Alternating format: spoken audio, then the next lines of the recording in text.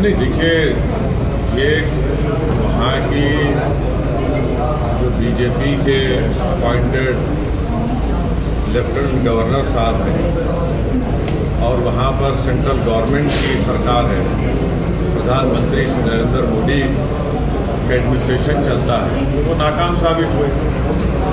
Three seventy इसलिए हटाया, देश को ये कहकर के पूरे पंडितों को फ़ायदा होगा।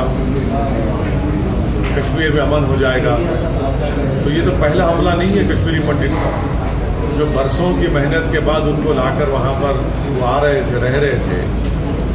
आज वो उनको आप, उन कश्मीरी पंडितों को आप बिल्कुल ही अनसेफ कर दिए।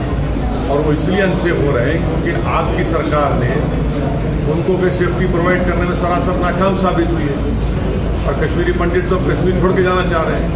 हम हमने और आपने देखा कि वो प्रोटेस्ट कर रहे थे रोडों पर आकर। उनके एनक्लेव्स को रातों में पुलिस बंद कर देती कि वो निकल कर ना जाए कहीं।